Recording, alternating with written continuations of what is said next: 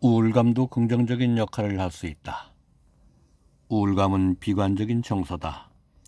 그런데 사람은 비관적일 때 세상의 본 모습과 인생의 본질을 더 정확하게 인식할 수 있다. 그러므로 우울감은 부정적이기만 한 것이 아니다. 우리가 그것을 통해 세상의 본 모습을 깨달을 수 있다면 우울감도 긍정적인 역할을 할 수 있다. 초조함이 사람의 적성을 일깨우는 원동력이 될 수 있는 것처럼 말이다.